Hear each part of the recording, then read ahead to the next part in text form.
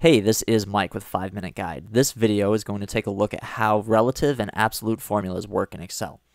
So, by default, all formulas in Excel are relative. What that means is if I were to create a formula here in, uh, let's say, H6, I'm going to make a nice little sum formula and sum up all of my income sources.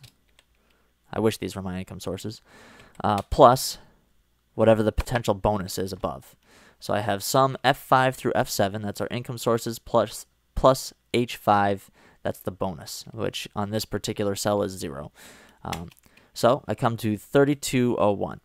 Now I want to copy and paste that formula right through all of the possible bonus cells. So I copy, Control C, or Command C, depending on what kind of uh, system you're using, and then Command V or Control V to paste it. You'll see that the only thing that is registering in this new cell is the bonus. So what happened? Okay, let's take a look at the formulas. In H6, the income sources are in F5 through F7, so that's right. And then we're adding H5, so that's right. Now we move over to I6, and Excel is trying to add G5 through G7, which is nothing. There's no there's no income in that in those cells, uh, but it is adding the bonus. So what's going on?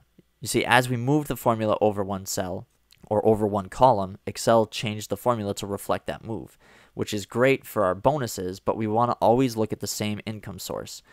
So what we can do is we can put the cash sign in front of the pieces of the formula that need to stay the same. So we want the column F to stay the same.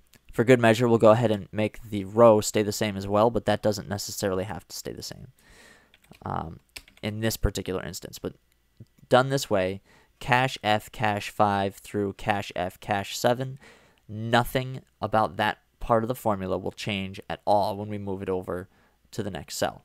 Um, now I'm going to leave H5 as it is because I want H5 to be relative as it moves. I want that movement to be reflected in my bonuses.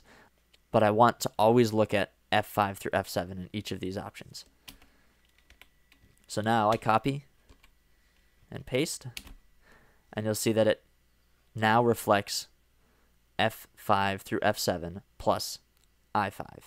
Now Excel also has a hotkey that can be used to change the absolute and relative values of the formula.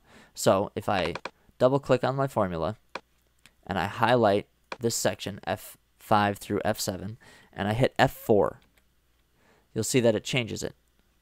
And it will cycle through all of the options that we have. So we have completely absolute, we have absolute row but a relative column. That means as it moves from left to right, it'll change, but it'll never change if it moves up and down. Or we have absolute column with a relative row, which is just the opposite. Or we have completely relative. So that's pretty much it. Uh, it's a quick and simple trick to help making copying pasting multiple formulas a lot easier, especially if they're complicated formulas where some parts need to change, some parts don't. Uh, but it's been a very useful tool in my Excel experience. Uh, I hope that it's very useful for you. As always, if you find this video useful, please tweet to your followers or share on Facebook. Um, that helps us out a lot, gives us a nice little traffic boost.